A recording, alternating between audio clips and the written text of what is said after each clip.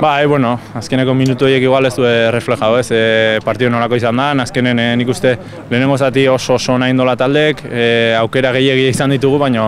ez dugu jakine ba, gol hori sartzen, eta eta bueno, azkenen ba, bat eta utxeko kimakarik e, gero sufriara ez indigu beste taldek, eta, eta bueno, e, pozi gaude ez, e, iru puntu lortzagatik, eta, eta ba, bueno, dinamika honen jarraitzen duelako. Bai, argita garbi borrokan jarraitu nahi dugu ez, e, ba, genekin talde hau zai ezala, baina,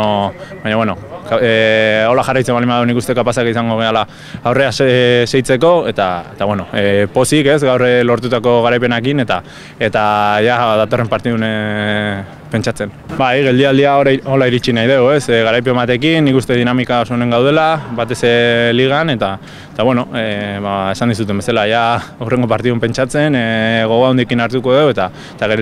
geldialdi ere bai. Sí, sí, yo creo que hemos intentado jugar nuestro juego, eh, hemos eh, tenido varias ocasiones, yo creo que hubiéramos podido meter más goles, pero bueno, lo,